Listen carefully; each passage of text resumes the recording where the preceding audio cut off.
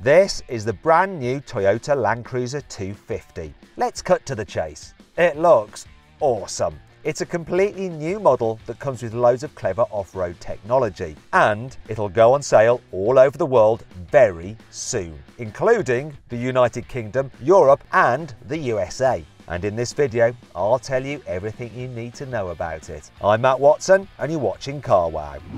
Buy, sell, carwow.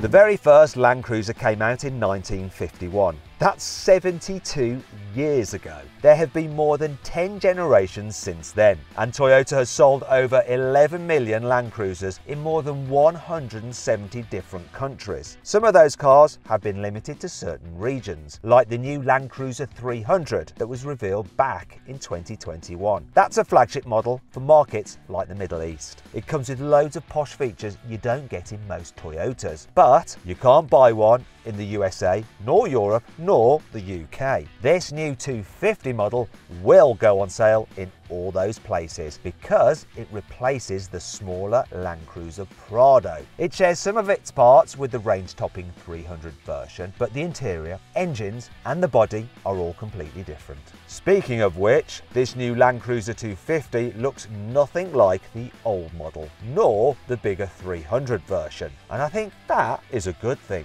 I'm not saying the old car looked bad. It's just a bit forgettable. The new model has a very cool retro design, a bit like the Suzuki Jimny and the Mercedes G-Class. From the side, it's a bit like a giant box on wheels, but I really like it. It's supposed to be a proper off-roader, not a posh SUV. The front end is even more square, if you can believe that's possible. It looks like someone drew a grille and some indicators on a Rubik's Cube. This theme continues at the back because this new Land Cruiser looks like it was designed using an Etch-a-Sketch. Remember those? If you don't know what they are, it's one of these. They only let you draw in a straight line. But what do you think of this new Land Cruiser's design? Do you like it or do you prefer something a little bit more modern looking like the Defender? What I've done is put a pin comment below so you can vote what you think is the best looking off-roader of the moment. Go on, have a vote.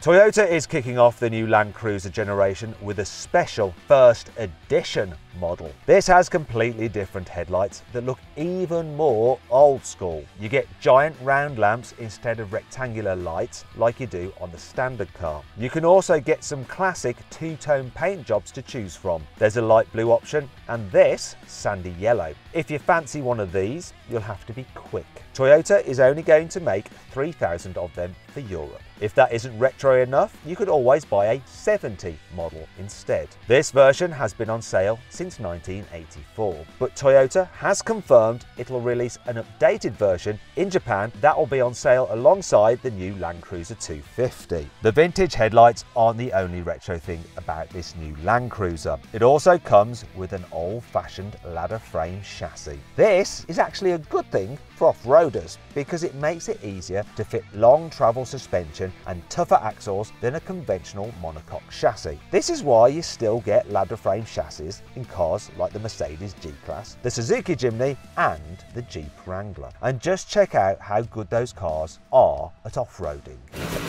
Come on, whoa! Oh crap, whoa! Toyota calls this new ladder frame chassis the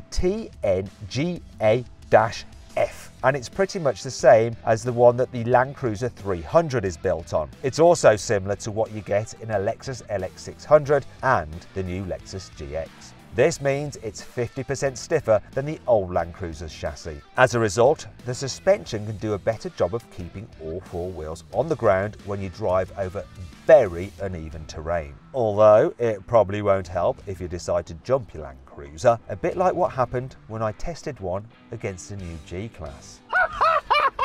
oh my God! If you want to see exactly which car was best overall, click on the pop-out banner or follow the link in the description below to watch my Toyota and Mercedes off-road battle. The new Toyota Land Cruiser 250 will come with a few engine choices, but not every option will be available in every country. The most basic car gets a 2.7 litre four-cylinder naturally aspirated petrol engine. This produces 163 horsepower and 246 newton meters of torque, which doesn't sound like much. You'll only be able to buy it in a few markets, including Japan and Eastern Europe. There'll also be a more powerful 2.4 litre turbocharged petrol engine with 281 horsepower and 430 newton meters of torque. This will go on sale in Eastern Europe and the Middle East. The entry-level diesel is a four-cylinder 2.8 litre turbocharged engine which produces 204 horsepower and 500 newton meters of torque. This engine is pretty much identical to the one in the old Land Cruiser and the Hilux pickup truck.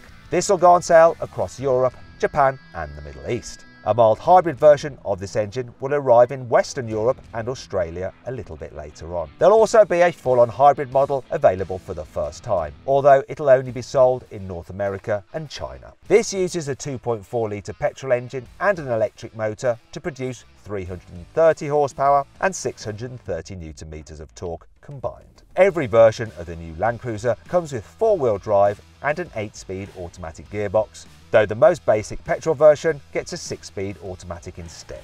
Toyota hasn't confirmed any 0 to 60 mile an hour stats yet for the new Land Cruiser, but the 2.8 litre diesel model that's coming to Western Europe should have very similar performance to the old car. Now that had a decent amount of torque and plenty of pickup at low revs but it took almost 10 seconds to accelerate from 0 to 60 miles an hour. So it felt pretty sluggish when you needed to overtake other cars or join a motorway. In fact, watch this to see how that car compared with a Land Rover Defender, a Jeep Wrangler and a Volkswagen Amarok in a drag race. Despite this, Toyota says this diesel engine has enough grunt to tow trailers weighing up to 3.5 tonnes. And that's definitely more important for your typical Land Cruiser driver than drag racing obviously. You could get the old Land Cruiser with either five or seven seats, and there was a three-door commercial version with two seats and a massive load bay. There's no three-door version of the new car yet, but Toyota has confirmed you'll be able to get five or seven seats in the new five-door model. So how roomy is it on the inside? Well, the new car is almost 8 centimetres shorter than the old car and it's also a few centimetres lower. However, this shouldn't affect passenger nor luggage space. That's because the wheelbase, which is the distance between the front and the rear wheels, is actually 6 centimetres longer than before at 2.85 metres. And really, it is that wheelbase that determines how much space there is inside a car's cabin. So this new one should be slightly more spacious than before. Also, this new Land Cruiser should be a bit easier to drive in town because Toyota has lowered the window frames and moved the dashboard down to give you a better view out. Speaking of the dashboard, you get a large central touchscreen with wireless Android Auto and Apple CarPlay. And there's also a digital driver's display instead of analog dials like you got on the previous generation model. Thankfully, Toyota has kept most of the physical controls for the four-wheel drive system, so you should be able to control everything with thick gloves on. You can also get a cool box in the center console, and there's a built-in inverter, so you should be able to power a range of electrical equipment using a normal household plug. It goes without saying that the new Land Cruiser comes with four-wheel drive. You also get high and low range modes and a locking rear differential like in the old model. But Toyota has also fitted plenty of upgrades to this new 250 version. There's a new front anti-roll bar that you can completely disconnect using a switch on the dashboard. This is really handy when you're off-roading because it lets the wheels on each side of the car move up and down more freely. And this helps them find traction when you drive over deep holes or over large rocks. You've been able to get this feature on a Jeep Wrangler for a while, but this is the first time Toyota has fitted it to a Land Cruiser. The new car also comes with a dedicated off-road electronic brain. This can automatically change all the engine, gearbox and suspension settings while you're driving. It's a little bit like the terrain response system you get in a Land Rover Defender. The new Land Cruiser also comes with a surround view camera system like the Defender to help you avoid hidden rocks when you're off-roading. Or of course, you could use it to spot tall curbs when you're parking in town. The new Land Cruiser comes with one very important safety upgrade. It gets electric power steering for the first time. This means Toyota has been able to fit all the driver aids from its other normal cars, including active lane keeping assist. Toyota also said this new system will help prevent kickback through the steering wheel. This is where bumps and ruts violently jerk the steering wheel while you're driving off-road. It tends to happen on very, very rough terrain, and I found out exactly what it feels like when I drove this old Mercedes G-Class and really, really hurt my finger. To tell you the truth, it's almost six months after I filmed that video and my finger still hurts. But you won't have to worry about this happening to you in this new Land Cruiser. The new Toyota Land Cruiser will go on sale in Europe and in the UK towards the end of the year. And the first cars will start arriving in early 2024. Toyota hasn't said how much this new car will cost yet, but you can bet it will set you back more than the old car. So expect to pay at least £40,000 for an entry level model. And top spec first edition cars with all the bells and whistles, well those could cost more than £65,000. I hope you all enjoyed the video. If you did, please give it a like. If you click on those windows there, you can watch some more videos. And if you click on that box there, you can go to carwow to see how much money you can save on your next car. Thanks for watching.